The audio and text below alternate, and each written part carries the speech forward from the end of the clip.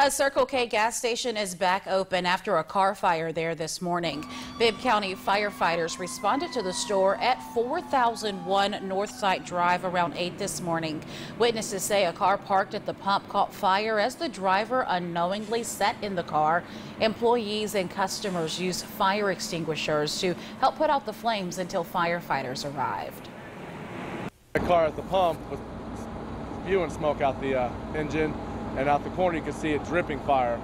Um, a couple of the guys grabbed some fire extinguishers, tried to put it out a little bit.